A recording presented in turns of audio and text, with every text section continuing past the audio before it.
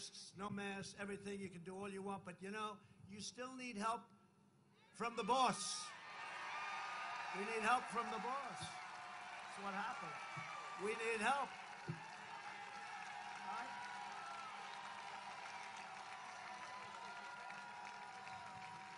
Yeah, we need help. It's all right to say. Now, they'll criticize me for that. How dare he say that?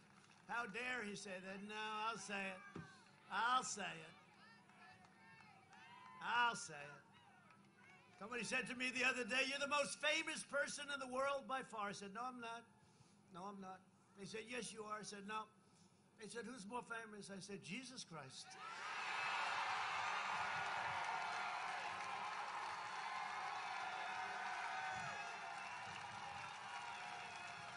I'm not taking any chances. I'm not going to have an argument. Hey, I'm not having any arguments.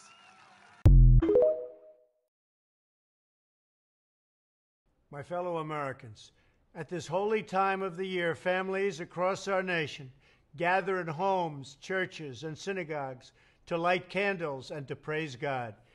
During the sacred holiday of Passover, Jewish families around the world give thanks to God for liberating the Jewish people from bondage in Egypt and delivering them to the promised land of Israel.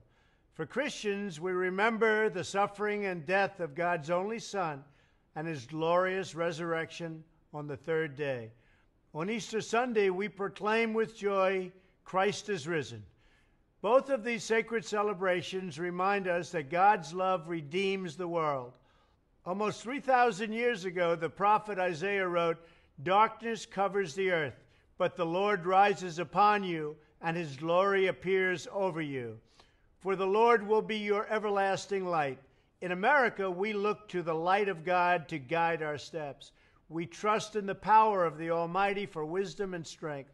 And we praise our Heavenly Father for the blessings of freedom and the gift of eternal life. Happy Passover, happy Easter. Thank you, God bless you, and God bless America.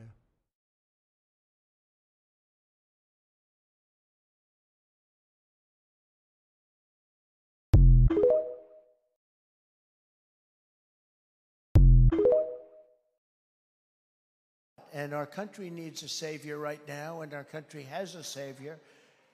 And that's not me, that's somebody much higher up than me. Much higher up.